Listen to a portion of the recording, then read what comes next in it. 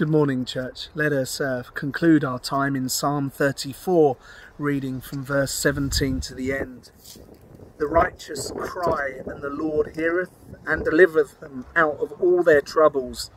The Lord is nigh unto them that are of a broken heart, and saveth such as of as be of a contrite spirit.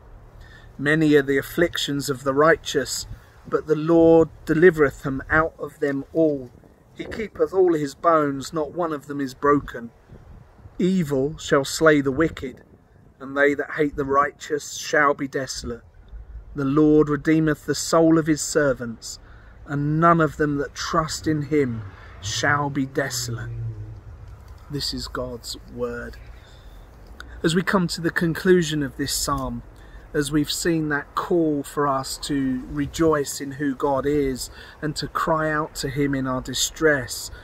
Verse 17 reminds us that the righteous cry, the cry of the righteous ones, the Lord heareth, and He delivers them. He delivers them out of all their troubles.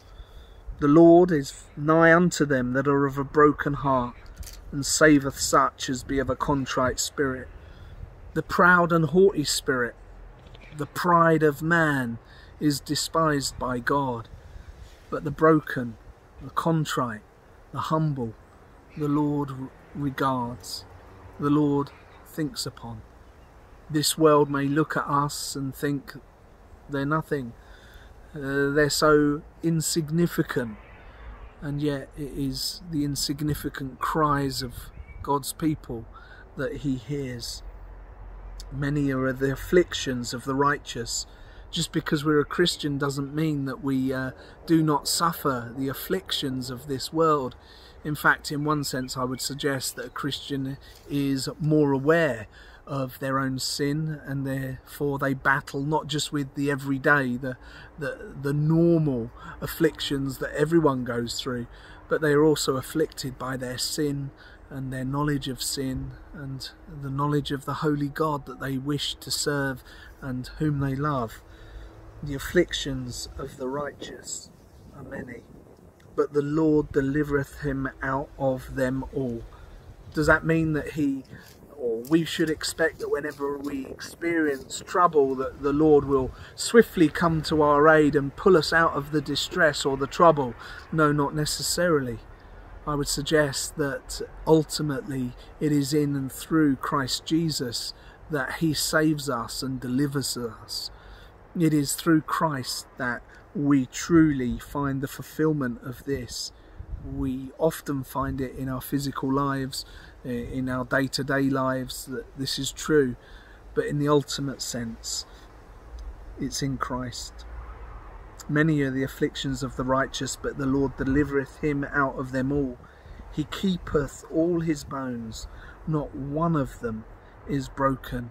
Again, a prophecy that's used in John 19 regarding our Lord and Saviour as the soldiers go to break the legs of those who are being crucified to speed up the process of death.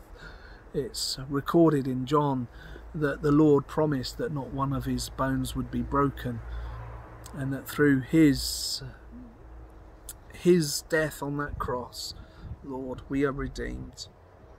Evil verse 21 shall slay the wicked and they that hate the righteous shall be desolate.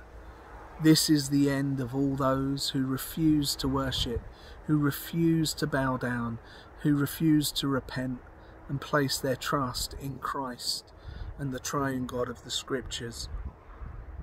But our end those who love God, who worship Him, who are disciples of the Lord Jesus Christ. Verse 22 has something to, to remind us of. The Lord redeemeth the soul of His servant, and none of them that trust in Him shall be desolate.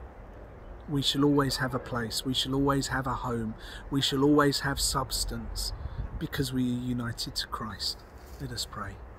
Our gracious Lord and Heavenly Father, how we thank you for your plenteous redemption of our lives and that our souls are promised that none of us that trust in you shall be desolate.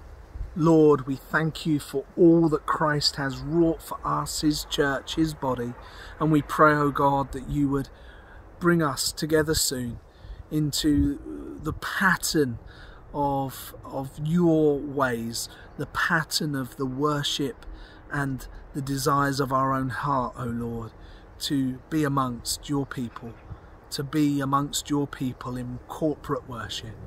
Father, we thank you and bless you that even though now we feel broken and contrite and our spirits are low, Lord, that you redeem us and that you will be with us and be our God, and we shall be your people. Thank you, Lord. Lead us, we pray, throughout this day. In Jesus' name, Amen. God bless.